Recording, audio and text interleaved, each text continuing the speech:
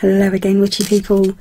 It's a very hot and humid night, yet again, so my window is open, so we may get a little bit of noise coming through, so I apologise for that. Any strange noises coming from inside the room, I shall blame on the cat and the dog. okay, so I wanted to answer some of these questions that I asked um, people to ask me on the 500 subscribers giveaway post. Uh, some of them I'll bunch together because it's easier to answer them as a group, and some of them I will answer singly. This one I'm going to answer singly, and it's from Dragon Iris, and I'll link her YouTube channel below. Now, I will link these YouTube channels whether or not they have any content because just because they don't have content doesn't mean to say they won't have content. See what I mean? Okay, so Dragon Iris uh, asked me do you work with any deities or spirits in your practice? And that includes animal spirits. It's an interesting question for a hedge witch because traditionally we don't work at all with deities. Um, however, sometimes it's a matter of having some kind of affinity with a certain figure, whether that be a, a deitical figure try saying that with a lisp. um, we, I say we as hedge witches. I will say personally, I don't see them as deities. I see them more as spiritual entities, and I think I have quite a strange mixture. Um, bear in mind that I don't work with deities. so, first and foremost, I think well, not first and foremost, but one of the first that comes to mind is one of the few what may be considered gods, uh, and that would be Herne, Herne the Hunter. Now, I believe it was Shakespeare who wrote about Herne the Hunter in, how is it, The Merry Wives of Windsor? I think it was. And I actually started writing a book about Herne the Hunter and the Green Man and horned gods and how they all coalesce and refer to each other in some sort of historical sense. Um, I will finish it one day. you never know. Um, but yes, so I see these. Like I said, I do believe that Shakespeare sought information from a past historical figure, and whether that uh, figure was called Herne or not is debatable. But Herne the Hunter, as he is depicted, and I, to be honest, I think when I was about 12 or 13, uh, there was an actor called Michael Praed, I think. I know Jason Connery took over the role afterwards, but Michael Praed was the first one who played um, Robin Hood, Robin of Locksley, in Robin Hood, the series here in England. And uh, I fell in love with this whole series when I was younger, only because of this figure, this sort of like this horned figure coming out of the mist that they depicted as Herne. And it was from that that I, I gained this. I don't know, I know it sounds silly, sort of like getting these ideas from television programs, but there was obviously some basis mythological historical basis in these programs that I it just calls to me. So I've always had a thing about Herne. The others are uh, Lilith, and I know that's typically uh, what you might call a biblical figure. Uh, Lilith was considered to be Adam's first wife. Um, she was the first woman, and some some offshoots of certain religions like to depict her as the serpent that tempted Eve. Obviously, I don't see Lilith in a biblical sense. Um, Hestia was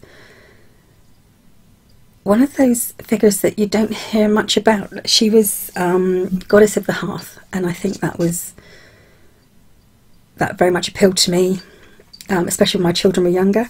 And of course, then there's Hecate, who was always one of those figures that was foremost in my mind as a strong, powerful entity. Um, not just as a symbol for woman, but as a, a symbol of strength in what is basically a female orientated faith. That doesn't sound right, but you know, whereas obviously Judaism is a matriarchal uh, religion, um, I, I feel that in many ways, so is witchcraft and hedge witchery. Not to say that it doesn't appeal to men or there aren't any male witches, because of course there are. oh, I'm probably digging myself a hole here. Anyway, so those are the deities, if you like, but I don't see them as deities, I see them as spiritual entities, spiritual beings. And yes, I do work with them occasionally. Not so much calling upon them for spell work, but using them as guidance when, especially going into the realm of the dead.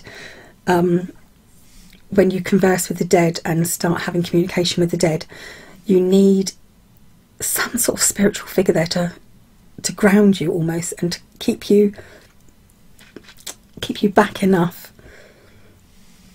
Um, anyone who's done that will kind of understand what I mean. Now, when it comes to actual spirit guides, spirit animals, yes, I do. And I do look, call upon them for spell work and magical workings. Quite often I don't have to because they're there. And these spirit guides, these spirit animals, do have a name. There's Lily, who is a long haired Jack Russell. there is Bella, who is a black cat. And there is baby, also known as Miss Violet, who is a very fluffy white and black cat. And they are all my animals. These are animals that were mine that have passed on. Uh, Bella and Baby, particularly, are very, very strong. Um, quite often, uh, Baby, Miss Violet, can be seen playing in the garden. And it sounds odd. I, I actually mentioned it to my doctor once, and my doctor thought I was um, cuckoo. Uh, which is fine. I probably am very much cuckoo. However, just because I see spirits and ghosts doesn't mean to mean doesn't mean that I'm more cuckoo than you know. That I'm, she thought I was having a breakdown. I did my doctor and sent me to see a psychiatrist and a counsellor, uh, which is something that you kind of get used to. So those are the main,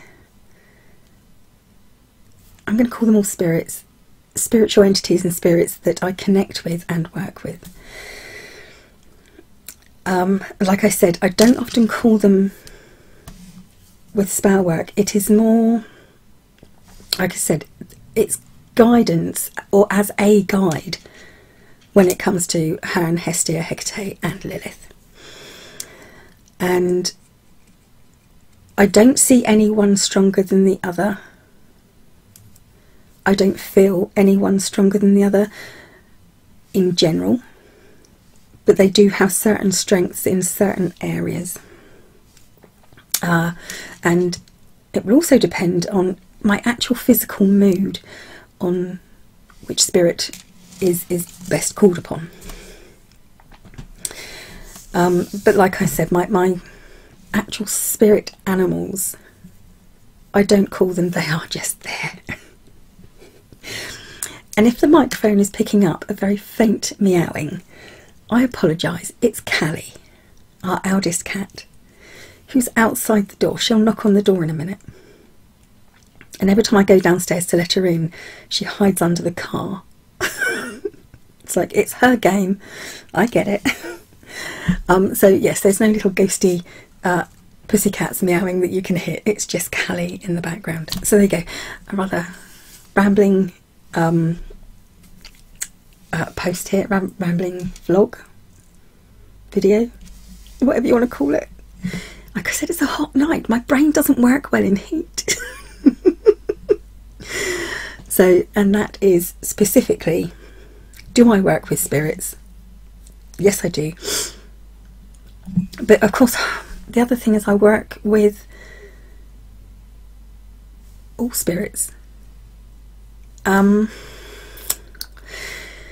it's kind of hard to explain. When you call upon the dead, especially during spell work, you don't call upon them in a guide. It's, it's more of a, a help for divination and for messages, that sort of thing. With the dead, it's something slightly different. the spirits of the dead are very much. You, you, you can't really call them when you want, they call you when they want. You can put yourself in their realm, you can put yourself in a position to communicate with them, but it's usually on their terms. Whereas when it comes to spirit animals, they're just there because they want to be and they like to help. And when you call upon, I'm guessing it's the same as when people call upon deities, you, you call upon them to help you. They're there to aid you, to guide you, to ground you, to protect you. So it's a completely different spiritual entity when I talk about spiritual entities as the spirit or the remains of someone who's passed over, who has died. I really have rambled on now, so I'd better go. Thank you, Dragon Iris, for that. I will link your channel below, and I'll be back soon with another question or questions. Thanks for watching, witchy people. Bye for now.